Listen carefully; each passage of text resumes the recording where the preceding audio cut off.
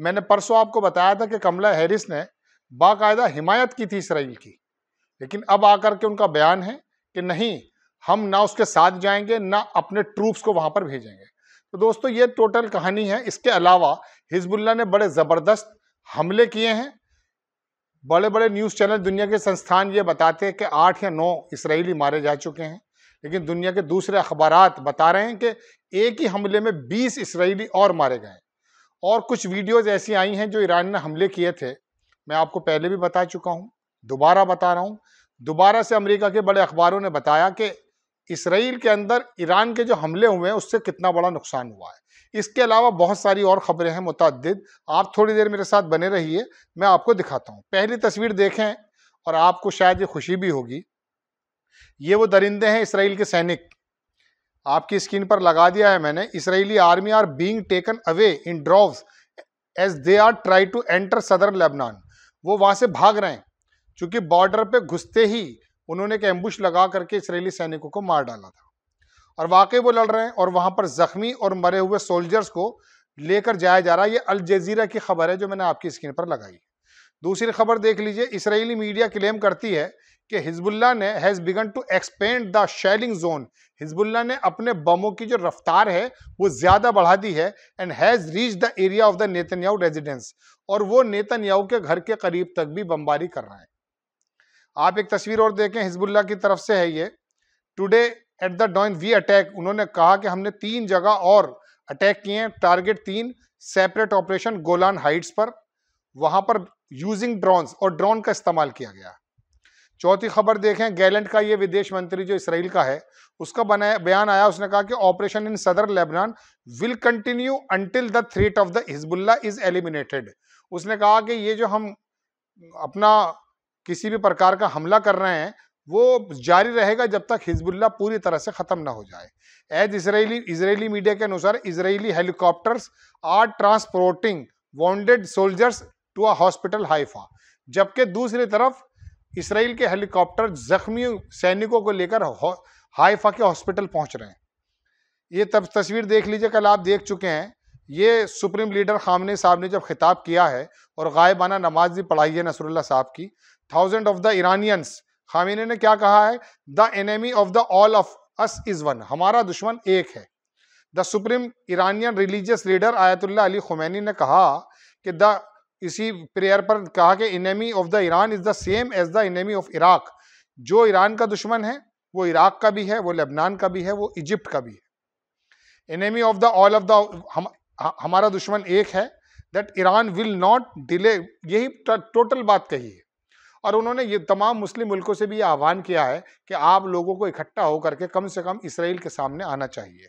और दोबारा हमले की बात भी कही है। ये और एक बात और बताऊँगा, एक मैसेज ईरान की तरफ़ से अमेरिका को पहुँचा, वो भी मैं आपको बताने जा रहा हूँ। पहले आप खबर देख लीजिए, ये डायरेक्ट हिट हिजबुल्ला ने किया है किरियात शोमोना पर तस्वीर हमारे एडिटर शायद लगा दें आपके सामने। दूसरी खबर देख लीजिए, हिजबुल्ला ने फायर किया हैवी रॉकेट्स एट हाइफा पर। ये बाकायदा वीडियो उन्होंने जारी की है हाइफा पर हमला करते हुए। एक तस्वीर और देख लीजिए, ये बहरीन की है। ये मैंने आपको बताया था ना कि सऊदी मुल्क किस प्रकार से मुनाफिकाना रवैया अख्तियार करते हैं। बहरीन के अंदर जब वहाँ का बादशाह और तमाम जो अशरा मुबशरा कह सकते हैं, जो बड़े लोग हैं, वो नमाज़ पढ़ने आए तो वहाँ के लोगों के अंदर इतनी ताकत आ गई है कि अब उन्होंने आकर के वहाँ के बादशाहों का, की मुखालफत शुरू कर दी है। आप देखें Bahraini protest against Bahraini government after Emir bans Friday prayers Imam Sadiq mosque security forces arrived और वहाँ पर सिक्योरिटी फोर्सेस को आना पड़ा। है फ़ोटो दिखा देता हूँ, लंबी खबरें हैं चूँकि बहुत सारी। आपको समय लगेगा। ये देख लीजिए Tehran will attack Israeli refineries Tehran जो अगला अटैक करेगा, वो रिफाइनरीज पर करेगा, जो इसराइल की हैं, जो गैस फील्ड्स हैं, Israel attacks Iran, Islamic Revolutionary Guards के ने वार्न किया है कि अगर कुछ भी हरकत करता है इसराइल। हालाँकि कल खामनी साहब ने कहा कि हमारा हमला बहुत काफ़ी नहीं है, बड़ा हमला है। जितना वो जुल्म कर चुका है, जितना वो मुसलमानों को मार चुका है, गाजा की बात मैं करूँ, लेबनान की बात करूँ, वो लगातार दोनों जगह आज भी हमले कर रहा है। Tehran does not plan to वो कह रहा है कि ईरान जो है वो कंटिन्यू नहीं करेगा अटैक को, लेकिन अगर तेल अवीब किसी भी प्रकार का कोई एक्शन लेता है तो वो इसको तमाम जगहों जो उनकी तेल की रिफाइनरीज हैं, इनको डिस्ट्रॉय कर देगा। ईरान के फॉरेन मिनिस्टर जो हैं अब्बास अराकची, ये वहाँ पहुँचे हैं कतर और इन्होंने कहा we only targeted the security military centers of the Israel we did not hit children हमने किसी बच्चे को किसी महिला पर हिट नहीं किया है। हमने सिर्फ़ इसराइल की जो मिलिट्री सेंटर्स हैं, उस पर हमला किया। इस्लाम भी यही कहता है। मैंने कल सुबह आपको खबर बताई थी प्रेसिडेंट पुतिन की तरफ़ से रशिया की तरफ़ से। Syria is our ally and we can not abandon our friends in times of the need हम अपने दोस्तों की ज़रूरत के समय खड़े मिलेंगे, उसको दरकिनार नहीं कर सकते, इसीलिए उन्होंने, उसने सीरिया का साथ दिया है। क्योंकि सीरिया में इसका इन्वेस्टमेंट भी बहुत ज़्यादा ये मैं आपको बता चुका हूँ। Iran will destroy all Israeli energy infrastructure power plants ये वो दिखाया गया है। ये नीचे जो देखेंगे रिवोल्यूशनरी गार्ड ने मिज़ाइल दिखाया है। इससे वो हमला करने की बात कहते हैं। कमला हैरिस का वो बयान आ गया आपकी स्क्रीन पर लगा हुआ है दोस्तों। US will not fight to defend Israel US जो है लड़ेगा नहीं है। यूएस अमेरिका लड़ेगा नहीं। इसराइल को डिफेंड करने के चक्कर में लड़ेगा नहीं। Democratic party candidate for US presidential election उसने कहा कि मेरी इन माई ओपिनियन मेरे ख्याल में अमेरिका जो ट्रूप्स हैं, सैनिक हैं will not defend Israel and we will not enter the region और रीजन में नहीं जाएँगे। ये बड़ा मुतजाद चेंज है। तमाम मुल्क इस समय ईरान के साथ भी खड़े नज़र आ रहे हैं। ईरान ने थ्रेट किया है यूनाइटेड स्टेट अमेरिका को और कहा कि our interest and our allies in the region must taken seriously my commitment to Israel ability to defend यही तमाम चीज़ें हैं जो मैं आपको बता रहा हूँ दोस्तों। एक खबर और देख लीजिए, अमेरिका, ब्रिटिश और दूसरी जगह एक और है, फ्रांस है शायद। उन्होंने यमन पर कुछ हमला किया, दस एयर एयर स्ट्राइक्स की हैं। लेकिन यमन के लोगों ने कहा कि हमारा हौसले आज भी ऐसे ही हैं जैसे पहले थे। आपकी स्क्रीन पर मैं लगा चुका हूँ।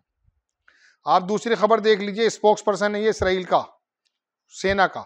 उसने कहा कि इराक की तरफ़ से ड्रोन हिट किया गया इसराइली बेस पर। जो गोलान में है और वहाँ दो इसराइली सोल्जर्स मारे गए और तेईस जख्मी हुए हैं। जख्मी बताते हैं, ये वो चीज़ है जो मैं बताना चाहता था आपको। वाशिंगटन पोस्ट इसने बताया कि जो विजुअल हैं, ईरान के जो मिसाइल जो मारे गए थे, उसकी पोल खुलती जा रही है। वो कह रहा है, मेरा कोई नुकसान नहीं हुआ है। पता चला एफ़ पैंतीस जहाँ पर थे, वहाँ पर भी नुकसान हुआ है।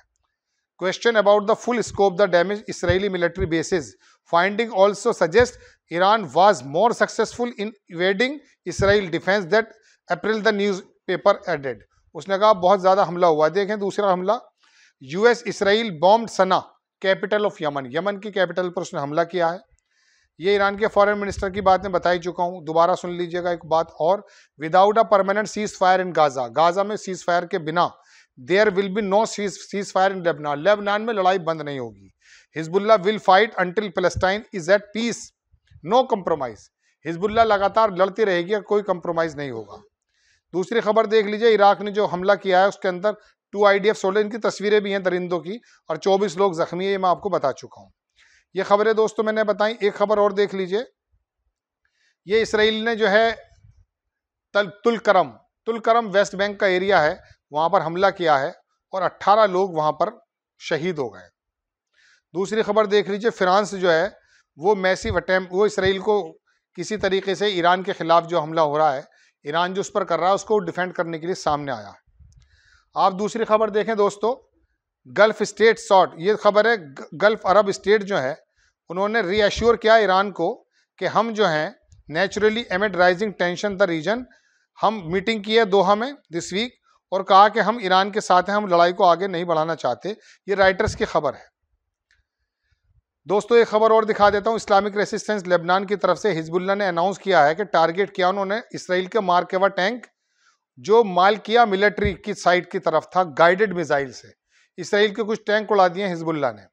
ये खबर और देख ली नेतन नेतन्याहू की तरफ़ से है।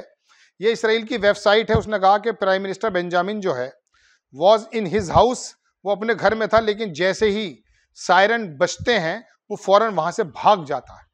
ये खबर भी इसराइल की वेबसाइट है, वल्ला, उसने बताया। ठीक है दोस्तों, एक खबर और दिखा देता हूँ मैं आपको। ये एक आदमी की जो शक्ल आप देख रहे हैं, हालाँकि पेशन गोयू में मेरा कोई यकीन नहीं है, लेकिन 20 साल पहले इसने कुछ कहा था, इसका वीडियो बहुत ज़्यादा सर्कुलेट हो रहा है। मुझे इसमें से एक बात समझ में आई, मुझे लगा आपको बतानी चाहिए। हालाँकि मैं कोई ऐसी बात नहीं बताना चाहता कि किसी आदमी को गैब की बातें पता है। इसने कुछ बातें लिखी हैं कि आने वाले वक्त में क्या होना है। ये 20 साल पहले कहा था, इसने इसका वीडियो है। इसने कहा कि न्यूक्लियर जो है, वो मिडिल ईस्ट के अंदर इस्तेमाल हो जाएगा और इसराइल जो है न्यूक्लियर वेपन्स इस्तेमाल करेगा फ़लस्तीनियों के खिलाफ।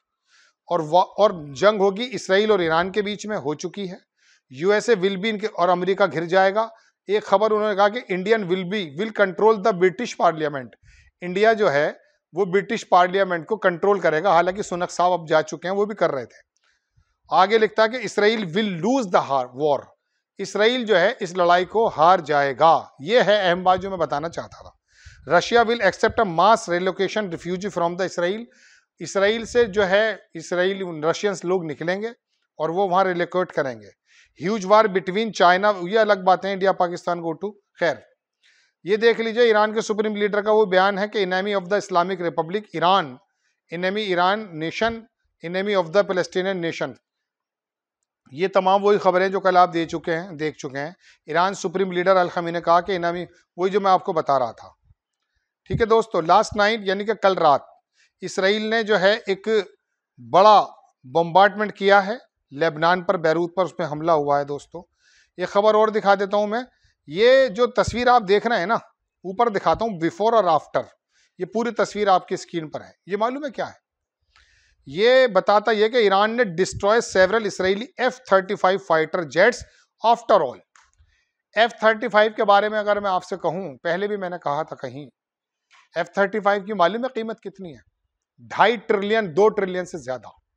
हमारे भारत की टोटल इकोनॉमी साढ़े तीन ट्रिलियन है, एक थर्टी फाइव की। अगर वहाँ पर ये जहाज़, ये जेट्स किसी तरह से हिट हो गए तो वाकई ईरान का हमला बहुत बड़ा, कामयाबी की निशानी है। ये बाकायदा तस्वीरें दी गई हैं। ठीक है? ये तस्वीरें देख लीजिए, हिजबुल्ला ने अनाउंस किया कि क्लैश हुआ है सत्रह इसराइली ऑफिसर जो हैं, वो बॉर्डर पर मारे गए कल रात से लेके अब तक। पजेश किया तो कतर पहुँच गए, वो मैंने आपको बताया बड़े शानदार जवाब उन्होंने दिए हैं। और तेल अवीब के अंदर भी सायरन बज रहे हैं, ये वो दरिंदा है जिसको मार डाला है हिजबुल्ला ने।